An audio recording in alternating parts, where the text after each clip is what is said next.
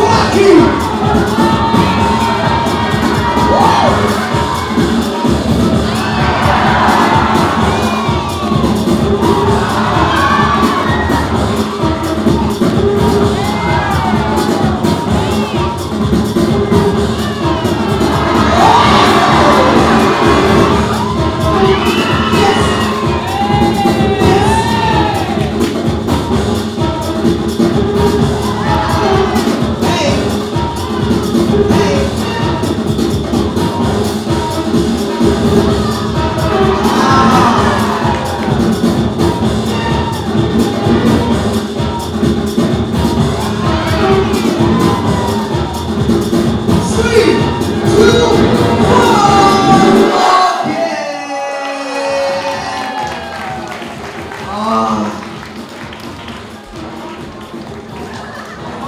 아, 커피.